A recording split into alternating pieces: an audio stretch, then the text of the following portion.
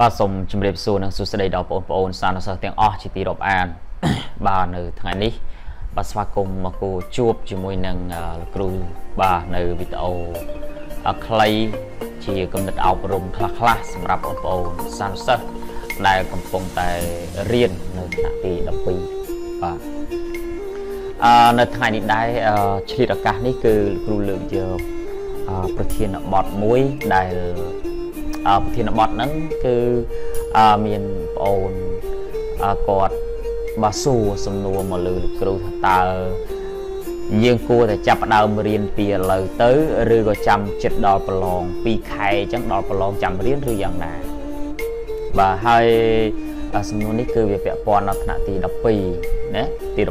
12បាទសម្រាប់ថ្នាក់ទី10ក៏មិនខុសគ្នាអ្វីដែរថាតើទី11ប៉ុណ្ណាទី11 អឺណាទី12អញ្ចឹងបងអូនទី12គាត់បានសួរលោកគ្រូថាតើយើងគួររៀនពីឥឡូវឬក៏ចាំដល់ពេលគៀកដល់ថ្ងៃប្រឡងចាំរៀនបាទអឺពីពីពីមុនក៏មានអ្នកនិយាយអញ្ចឹងដែរពីឆ្នាំមុនក៏មានប្អូនបណ្ដាផ្សេងគាត់ឆាតតាម page តាម Facebook page គាត់សួរថាតើគួររៀនពីឥឡូវ ឬក៏រៀនចាំពេលណាបានរៀនណាបាទបាទអញ្ចឹងការរៀនរបស់យើងគឺវាសំខាន់ណាស់បងណាបាទវាសំខាន់ណាស់សម្រាប់ការប្រឡងបាក់ឌុបបើសិនបើយើងមិនខំរៀនទេ មានន័យថាការប្រឡងបាក់ឌុបរបស់យើងមិនទទួលបានលទ្ធផលល្អទេអញ្ចឹងថាតើយើងគួររៀនពីពេលហ្នឹងទៅ ឬក៏ចាំគៀកដល់ថ្ងៃប្រឡងទើបយើងរៀន លោកគ្រូជឿថាចម្លើយជាច្រើននឹងបានឆ្លើយថាគួរតែរៀនពីឥឡូវទៅណាគួរតែរៀនពីឥឡូវទៅដើម្បីឲ្យមានចំណេះហ្នឹងកាន់តែខ្លាំងចឹងណាបាទចម្លើយតិចដែលឆ្លើយថាចាំដល់ថ្ងៃចិត្តចិត្តដល់ថ្ងៃប្រឡងចាំរៀនអាហ្នឹងគេអត់ខុសពីពាក្យថាអីទឹកចូលគេថាទឹកចូលច្រមុះបានបានបានបានខំណាព្រោះណាបាទតល ទឹកចូលច្រមុះបានបានខំបាទឬថាដល់គោបាត់បានធ្វើរបងណាចិត្តដល់ថ្ងៃប្រឡងបានខំរៀនបាទអញ្ចឹងពាក្យហ្នឹងគេថាហ្នឹងគឺមិនខុសទេហើយយើងយកមកគិតមើលទៅថាតើគួរតែរៀនពីឥឡូវទៅឬក៏យ៉ាងណាបាទអញ្ចឹងការរៀនប៉ុណ្ណេះមិនមែនជា មានន័យថាយើងរៀនតាំងពីទី1មកដល់ទី12គឺ12ឆ្នាំ12ឆ្នាំអញ្ចឹងរៀន12ឆ្នាំហ្នឹងយើងមិនអាចរំចាំដល់ពាក្យថ្ងៃប្រឡងបានយើងខំរៀនទេគឺយើងត្រូវតែខំរៀនពីឥឡូវទៅណាយើងខំពីឥឡូវទៅឲ្យបានច្រើនខំពីឥឡូវហ្នឹងខំអានខំទន្ទិញខំអនុវត្តធ្វើសំណួរធ្វើលំហាត់ឲ្យបានច្រើនពីឥឡូវទៅ បើសិនបើប្អូនខំពីឥឡូវទៅប្អូននឹងមានគ្រឹះកាន់តែខ្លាំងឡើងខ្លាំងឡើងណាបាទអញ្ចឹងរុក្ខជាតិមួយដើមដើម្បីទប់ខ្យល់ទប់លំនឹងបានត្រត្រង់ស្លឹកត្រត្រង់មែកការផ្លែបានរុក្ខជាតិនោះត្រូវតែមានឫសបាទឫសកាន់តែច្រើនបែកចេញខាងកាន់តែច្រើនអឺវាកាន់តែរឹងមាំរុក្ខជាតិហ្នឹងកាន់តែរឹងមាំបាទកាន់តែមានភាពធន់ទៅនឹងខ្យល់ អញ្ចឹងការសិក្សារបស់យើងក៏ដូចគ្នាដែរចឹងហើយទើបយើងរៀនឲ្យចេះអានអក្សរឲ្យចេះរៀនអានអក្សរចេះបូកដកលេខបាទអញ្ចឹងហើយតើតែមានន័យថាយើងត្រូវតែខំហើយបាទណាបើយើងត្រូវតែខំរៀនបាទខំរៀនខំរៀនពីឥឡូវទៅហើយប្រឹងទន្ទិញសំណួរទន្ទិញចម្លើយ បាទនឹងអានសភៅពុំសភៅអីហ្នឹងឲ្យបានច្រើនណាបាទមើលវិញ្ញាសាឲ្យបានច្រើនឯលំហាត់ក៏ត្រូវតែធ្វើពីឥឡូវទៅឲ្យបានច្រើនដែរកាលណាយើងធ្វើពីឥឡូវទៅមានន័យថាធ្វើឲ្យយើងធ្វើលំហាត់បានកាន់តែច្រើនឡើងច្រើនឡើងបាទច្រើនឡើងច្រើនឡើងធ្វើលំហាត់បានច្រើនចំណេះដឹងរបស់យើងសមត្ថភាពរបស់យើងកាន់តែខ្លាំងឡើងខ្លាំងឡើងដែរយើងធ្វើបាន100លំហាត់ពីថ្ងៃនឹងដល់ថ្ងៃប្រឡងបាន100លំហាត់ យើងនឹងមានធម៌ពលខ្លាំងយើងមានសមត្ថភាពពេញលេញ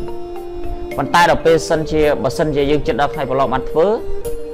យើងធ្វើបានតែប្រហែលបានតែ30លំហាត់ឧទាហរណ៍ចឹងឬក៏20លំហាត់ចាំមានសមត្ថភាពយើងនៅទៀបហើយបបើដែរបាទនៅទៀតមែនតើចឹងហើយបងអូនគួរតែអឺយកចិត្តទុកដាក់ខ្ពស់ទៅលើការខំប្រឹងហ្នឹងបាទនេះមិនលោកគ្រូចេះតែនិយាយទេបងណាគឺ ចង់ឲ្យបងអូនបងអូនទាំងអស់គ្នាយកចិត្តទុកដាក់ទៅលើការរៀនហ្នឹងណាចង់ឲ្យបងប្អូនទាំងអស់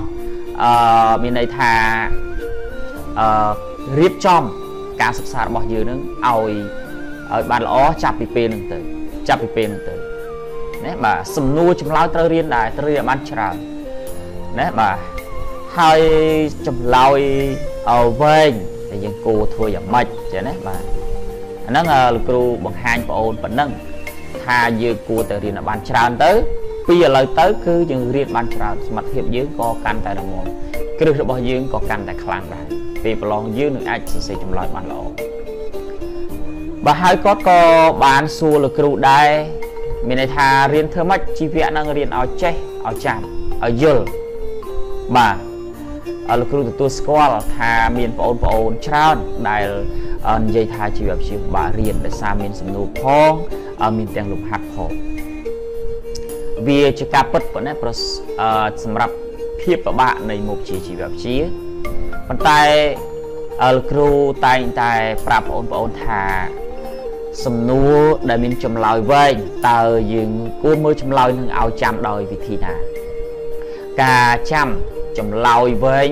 បាទមិនមែនជារឿងមួយពិបាកទេអឺទី1បងអូន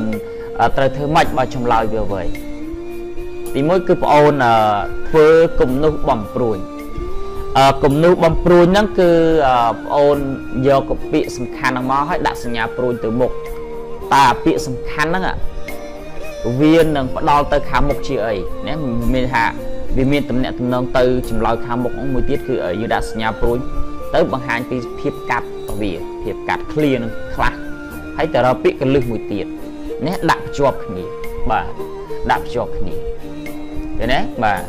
អាហ្នឹងយើងយើងយើងធ្វើគំនូសអំព្រួញណាយើងធ្វើគំនូសអំព្រួញនៅលើក្រដាស់ទៅយកចម្លើយវែងអានមកហើយយើងធ្វើគំនូសអំព្រួញធ្វើគំនូសអំព្រួញហើយបងអូនអានសំណួរចម្លើយវាហ្នឹងអានចម្លើយវាទៅហើយយើងមកមើលគំនូសអំព្រួញឡើងវិញម្ដងឬពីរដងហើយយើងចាំបានបាទអានោះចំណុចទី1ចំណុចទី2 មានន័យថាយើងចាំក្នុងមួយបន្ទាត់ឬពីរបន្ទាត់ឬក្នុងមួយខណ្ឌហ្នឹងយើងចាំពាក្យកលឹះរបស់វាទៅចាំតែពាក្យកលឹះរបស់វាណាចាំពាក្យកលឹះរបស់វាកន្លែងនេះពាក្យកលឹះវាម៉េចកន្លែងនេះពាក្យកលឹះវាយ៉ាងម៉េចអញ្ចឹងពាក្យអញ្ចឹងមានន័យថាធ្វើឲ្យយើងចាំវាលឿនហើយដល់ពេលយើងឆ្លើយយើងពន្យល់ប្រាប់គេយើងគ្រាន់តែបញ្ចូលពាក្យខ្លះខ្លះដើម្បីអមកពាក្យកលឹះហ្នឹងទៅ យើងនឹងទទួលបានបន្ទុកហើយបងណាទទួលបានបន្ទុកហើយការកែអ្នកកែគេមើលទៅលើពាក្យសំខាន់នៅក្នុងហ្នឹង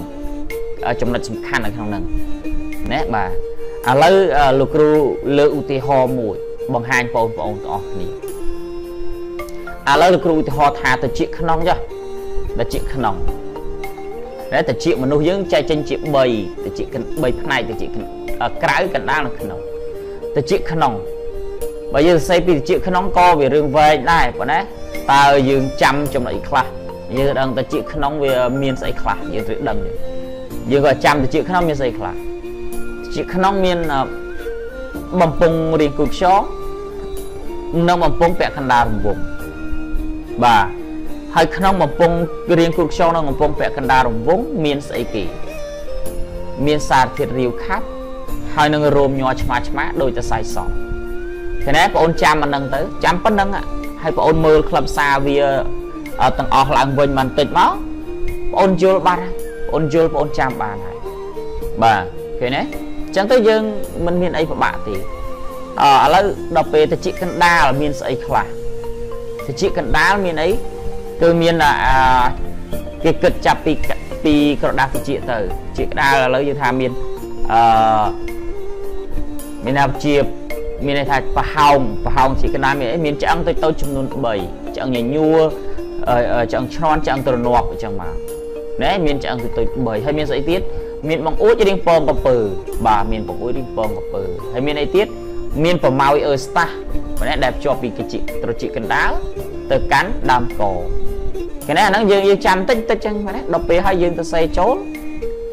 យើងទទួលបានបន្ទូហើយព្រោះណាអាហ្នឹងលោកគ្រូណែនាំបងអូនឲ្យយល់ឲ្យចាំណាហើយឲ្យងាយស្រួលក្នុងការរៀនបាទពេលខ្លះបងអូនខ្លះគាត់អឺបាទពេលខ្លះមានន័យថាបងអូនខ្លះគាត់មើលថានេះទៅមកណាបាទមានថាគាត់ប្រឹងអានចុះគាត់បើកមកគាត់អានយកអានយកអានយកហើយប្រឹងទន្ទិញគ្រប់ពាក្យ អាដែលអាគឺអីចេះចុះមានអីជាច្រើនដូចជាតាមរបៀបរៀបរយអញ្ចឹងក៏គាត់ប្រឹងទន្ទិញដែរដល់ពេលចឹងវាធ្វើឲ្យអឺចម្លើយនឹងវាកាន់តែវែងចម្លើយកាន់តែវែងចឹងដើម្បីស្រួលចម្លើយនឹងកុំឲ្យវែងបងអូនធ្វើដូចលោកគ្រូបង្ហាញចឹងបងអូនចាំពាក្យកលឹះទៅពេលយើងឆ្លើយយើងផ្ដល់ចម្លើយនឹងឲ្យគេយើងនឹងបានបន្ទុកព្រោះណាយើងនឹងបានបន្ទុក ព្រោះអ្នកកែគេសម្លឹងឲ្យឃើញចំណុចកន្លែងហ្នឹងអាចំណុចសំខាន់ហ្នឹងគេគ្រីឲ្យបន្ទុកចំណុចសំខាន់គេគ្រីឲ្យបន្ទុកចឹងហើយអានេះជាការចែករំលែកមួយព្រោះណាបាទគឺចែករំលែកឲ្យអបងប្អូនទាំងអស់គ្នាចេះរៀនទៅលើមុខវិជ្ជាជីវវិទ្យាពេលដែលបងអូនចេះរៀនបងអូនយល់អំពីរបៀបនៃការរៀនបងអូននឹងយល់ថាជីវវិទ្យាស្រួលរៀនស្រួលរៀនណាបាទ มันពិបាកទេมันពិបាកទេហើយព្យាយាមមើលសភៅឲ្យបានច្រើននេះទៅប៉ុន្តែសភៅពុំមើលឲ្យច្រើននេះទៅគឺជួយមានន័យថាជួយបង្កើនអាសកម្មភាពខួរក្បាលរបស់យើងឲ្យមានការគិតបានទូលាយល្អបាទមានបានទូលាយល្អបាទចឹងលោកគ្រូចែករំលែកប៉ុណ្ណឹងសម្រាប់ប្រធានបទមួយនឹងបាទទី1គឺតើគួររៀនមុន រៀនពីឥឡូវទៅឬក៏ចិត្តដល់ប្រឡងចាំរៀនអញ្ចឹងណាចាំមានតែយើងគួរតែរៀនពីឥឡូវទៅគឺជាការល្អប្រសើរហើយនឹងវិធីសាស្ត្រការរៀនជីវវិទ្យាឲ្យងាយស្រួលចាំហើយយល់បានល្អនឹងយូរទៀតផងបាទចឹងវីដេអូមួយនេះលោកគ្រូចែកម្លែកដល់បងប្អូនសានុសិស្សទី11ទី12និងបងប្អូនទាំងអស់គ្រប់គ្រប់គ្នាដែលជាសានុសិស្សតែម្ដងហើយក៏ជូនពរបងប្អូន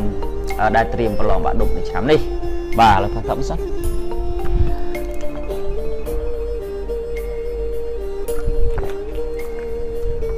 បាទគឺជូនពរបងប្អូនទាំងអស់គ្នាដែលត្រៀមប្រឡងបាក់ឌុបឆ្នាំហ្នឹងបាទសូមឲ្យមានសំណាងល្អហើយប្រឡងជាប់បាក់ឌុបទាំងអស់គ្នា